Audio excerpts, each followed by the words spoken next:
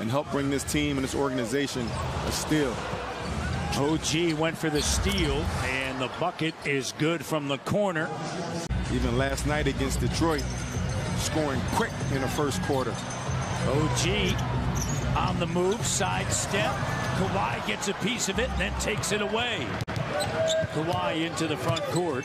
Leonard playing in his 14th game. Paul George in the three is good. This is a team. Just can't get it to drop. But I love how Fred is finding that balance to his game. Kawhi ball fake with the hook, and it's good.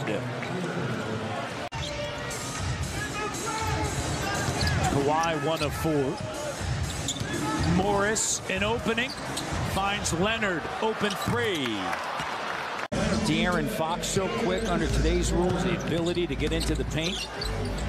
That's why rim protectors are a premium. Here's Powell.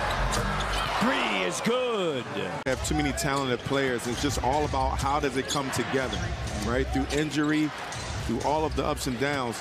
But this is a talented roster. Zubac on the inside. And back-to-back -back strong games. Barnes goes out on Kawhi. Morris. Here's Kawhi. Sends it now to Jackson. Corner three. Good. And they make the extra pass, and he's open. Here's Kawhi with the steal. Leonard attacking. And they're going to count the bucket. And one opportunity for Leonard. 52 points. They shot 9 for 34 from three. And then a season high 19 made threes in Cleveland. Tonight, 5 for 20, but just a fair share. Trying to make sure it's a fast tempo so they can get more possessions. And now the Clippers have attempted five more shots, and there's a bucket that is good. 32 points now. Powell and Kawhi stays with it, 15.